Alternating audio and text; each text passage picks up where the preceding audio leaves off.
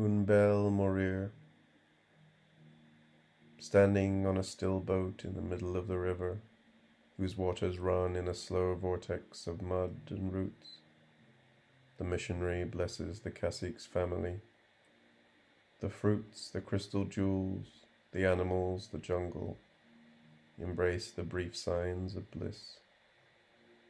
When the hand descends, I will have died in my room, with its windows that vibrate with the tram, and the milkman will come in vain for his empty bottles. Not much of our story will survive then. Some disorganized portraits, some letters stored, I don't know where. What was said that day, I undressed you in the field. Everything will start fading into oblivion.